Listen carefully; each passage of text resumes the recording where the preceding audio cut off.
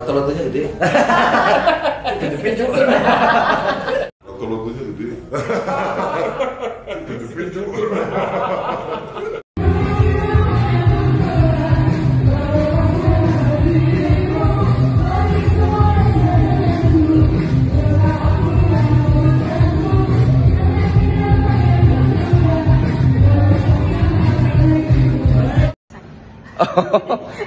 Bella kamu pengen resign ya?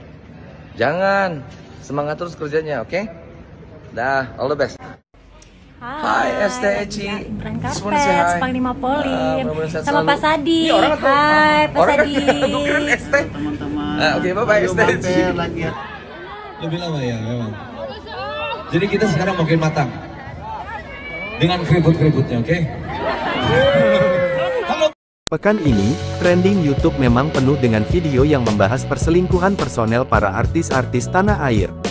Namun, kini channel New Life Entertainment menayangkan segmen tentang persiapan konser Noah. Grup musik Noah akan hadir dalam konser bertajuk Circus Concerto, Music, Attraction, Illusion pada tanggal 7 Oktober tahun 2023. Menariknya, pada konser tersebut Ariel CS tak hanya sekedar tampil, tapi juga melakukan atraksi sirkus. Kini, Kamis tanggal 31 Agustus tahun 2023, video ini sangat lucu dan membuat para kru di studio Noah ketawa. Video tersebut menggunakan judul, Noah Extreme Noah siapkan mental demi sirkus CONCERTO. Perhatian warganet yaitu, hanya di sulpot Ariel Noah lucu. Manakala di sela-sela meeting Ariel mengatakan bahwa lato-latonya besar sontak saja semua krunya langsung ketawa. Seperti diketahui, Ariel merupakan vokalis kondang di industri musik tanah air. Selain memiliki karakter vokal yang khas, ia juga dikenal sebagai artis yang tampan dan berharisma. Pesona Ariel Noah yang tak pernah luntur kerap meluluhkan hati para penggemar, terutama kaum hawa.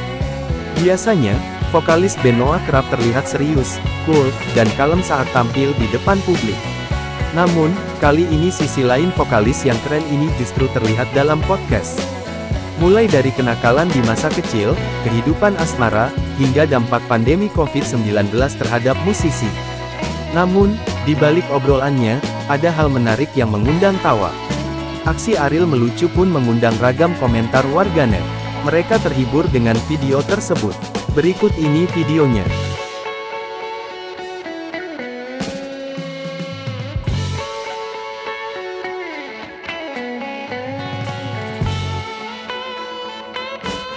거라고 했는데요.